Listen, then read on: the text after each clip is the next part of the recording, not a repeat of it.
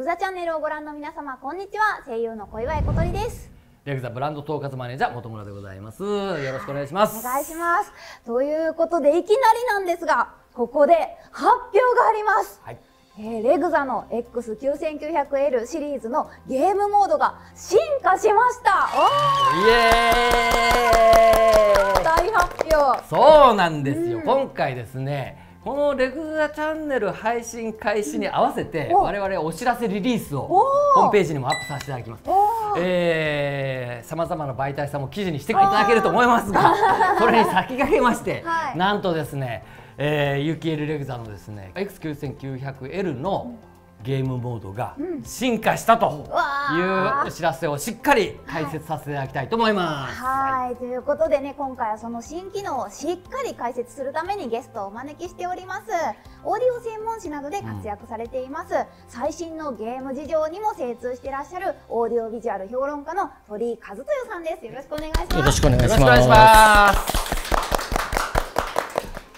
ということで、鳥居さんとは、えっと、何かで共演したこととかありますか、ね？えっ、と初めてだと思います。そうなんですたね。だあ僕あの、ステレオサウンド社の、はいあの小岩井さんの別冊があるじゃないですか。はいはいはいあそこで ASMR のはい琴音色の音源ちょっと聞かせてもらって、あ録音うございます取っててすごく感心しました。ありがとうございます。ちょっとオーディオの方ではそうやってちょこちょこね、いろんなところでご一緒したりしてるみたいなんですけど、レグザチャンネルはご覧になったことありますか？ここはねあの割とノリはこの通り軽いのに 結構マニアックなネタを扱っていて あのおも面白く見てます。ありがとうございます。はい。いや鳥居さんは、はい。そのゲームというよりも、もう映画をね、はい。ご覧いただいて画質を評価いただいたり、そしてね特にアニメ事情めっあちゃお詳しいので、アニメの画質のねご評価をいただいたりですね、そして実はゲームも得意だったということで。さすがですね。はい、今日は新しいゲームモードの解説をしっかりはい。解説していただきたいと思います。はい。よろしくお願いします。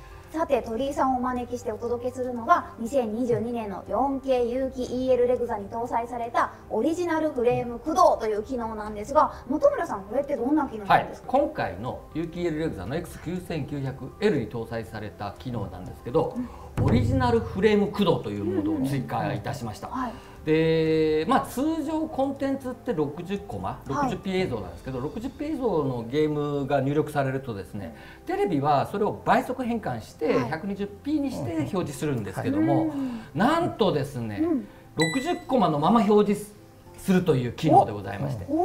えーこれによってですね、はい。えーこれまで、えー約9.3ミリセックはい。かかっていた映像遅延がですね、なんと2.4ミリセックうん。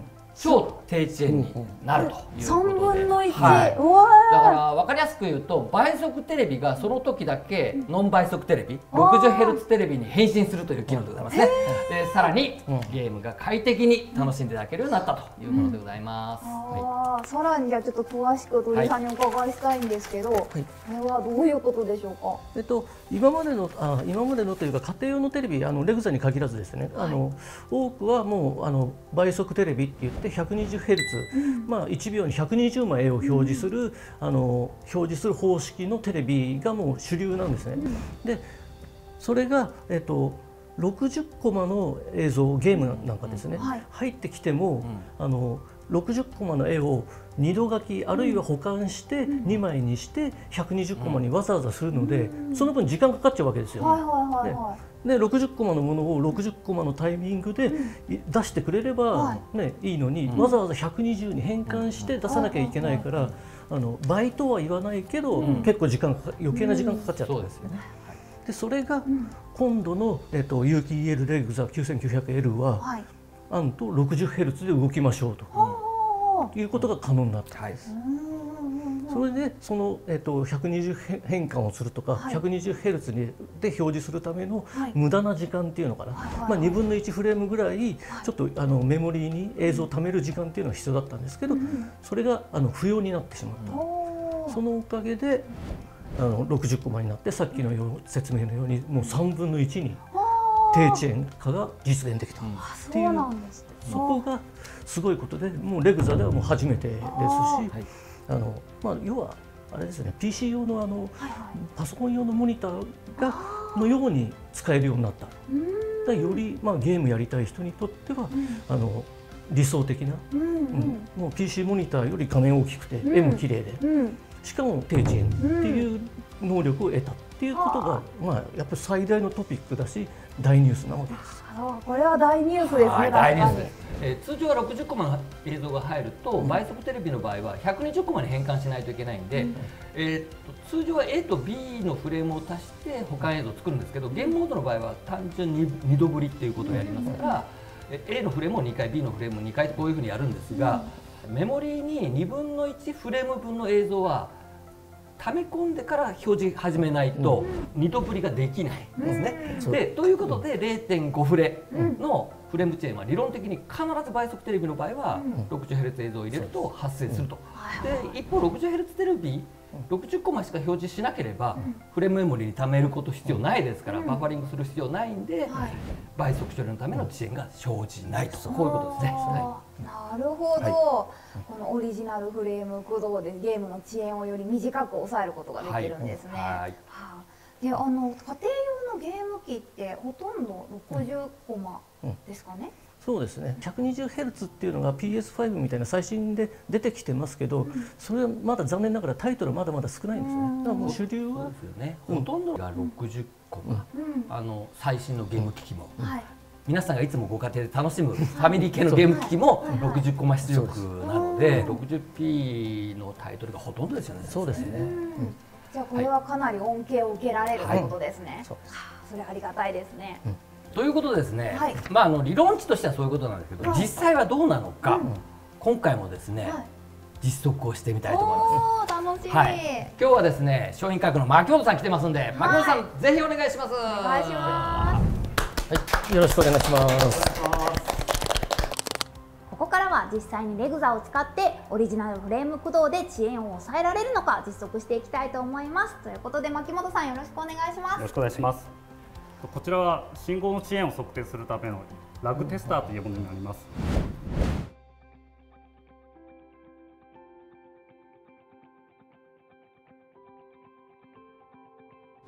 こちらのモデルが昨年モデルの X9400S になります。それではこのラグテスターで遅延を測定してみましょじゃん。18.3ミリセックですね。はい。うん。でこれはですねこのモデル、えっ、と X9400S は、えっと先ほどご紹介した0.5フレームの、えっとバファリングの遅延に加えて、えっとパネル自身がですね、えっと焼き付き対策のために1フレーム、えっとパネル内での遅延が加算されています。まあ倍速テレビの1フレームなんで、えっと 60Hz でいうと0.5フレーム分、だからトータル合わせると、バファリングの0.5と、えっとパネル内部での0.5フレームが加わって、それに映像処理が入って結果として10.18.4ミリセック、はい。こういうことですね、になってるということでございます。じゃあ次にですね、最新の UPLX9900L 新バージョンになったやつで測定してみましょう。はい、はい、ではこちらが最新機種の X9900L になります。それでは測ってみます。はい、じゃじゃん。3.1です。めっちゃ速い。うん、これは0.5フレームバファリングがない、うん。はい、今ちょうどこのテレビは倍速パネルにもかかわらず、はノン倍速の 60Hz パネルに大変している状態です、ね、でさらに昨年の X9400S に比べてワンフレーム、まあ、倍速のワンフレーム、うん、えっと、8.3ミリセットと0.5フレーム分の支援がないので、大きく低遅延が実現できたと、こういうことですね。これ早いですよね、三、分の一？分の実測で。ゲームによるそのタイムラグのストレスは、これはないですね、はい。実測をね自ら公開しちゃうのすごいですよね。これが理論値は2.4ミリセックなんですけど、えーっと実測するとあのー最終段のパネルの処理とかが入るんで、3.1ミリセックということになりますね。早い。早い。はい。とい。うことでねせっかくなんで鳥居さんにちょっとゲームを体験してい。ただい。て、えーどんな感想を抱くかをちょっとね教えてい。ただきたい。と思ってご用意しましたが実際どうでしょうかあえーと、まず遅延以前なんですけどパッと見て絵が明るくてすごく見やすい。それですごく綺麗に見えます、ね、はい。実はですね今年のモデルは、昨年のモデルに比べて輝度がゲームモードの輝度がかなり上がったんで、あのー、快適にゲームが楽しんでいただけるようになったと思います。はい、やっぱ明るいと迫力あります、ね、そうなんですよ。やっぱりやりやすいですよね。はい。そして気になる遅延についてはどうですか？えっとまずですね、あのボタンを押してまああの攻撃が出るっていう、ね、こうあの剣を振るとか、あの動き回るってアクションなんですけど、あやっぱりスムーズさありますねボタンを押した時すごく反応がいいっていうか、あのやってて気持ちがいいっていうかプレイしやすいです。あいいですよね。いいですね。遅延がねこう感じにくいとすごくあの爽快感がありますもんね。まあゲームの中に没入できますよね。こうやって動かすともあのこのゲームこうやってあのいろんなところぐるぐる歩自由に歩き回れるんですけど、そういう時もあの自由に動ける。うんあとあの有機 EL だからあの応答速度速くてこうやって動いた時に目がちらつかないんですよ。そうですね。そういう良さもありますね。すごくスムーズですね。うん、本当にねグラフィックの良さというか、コントラストもすごいですよね。うんだからすごくもう本当映画を見てるようなというか、映画をプレイしてるような感じがありますね。さあ今回はオーディオビジュアル評論家の鳥居さんをゲストにお招きし 4K 有機 EL レグザの新機能オリジナルフレーム駆動について詳しく解説していただきましたがいかがでしたか、はい、60p の低遅延っていうと、まあ、あの e スポーツというか、プロゲーマーの人が注目する機能って思いがちなんですけどあの実際にプレイしてみると僕のようなあのゲーム好きでも分かるぐらいプレイが気持ちよくて快適にできたっていうのは驚きでした、ね、ありがとうございます。どうですか？これ9900円すごい欲しくなりました。いいでしょう。ぜひよろしくお願いいたします。しますお願いします。はいはい、ということで鳥居さんぜひまたレグザチャンネルに遊びに来てください。はい、喜んでお願いします。では、いいねとチャンネル登録も皆さんよろしくお願いします。それでは、さようなら。